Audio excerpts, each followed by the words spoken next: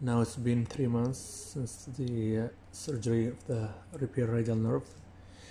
Uh, if you compare the last video that I updated last month with this one, I don't know if there is any changes that happen.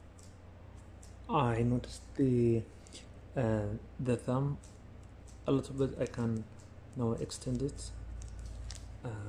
The movement now. Movement is is more or I can say easier to to perform.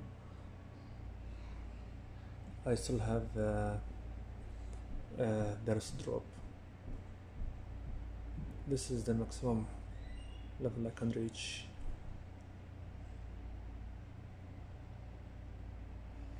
Also I cannot do thumbs up this is this is the level that I can reach. Thank you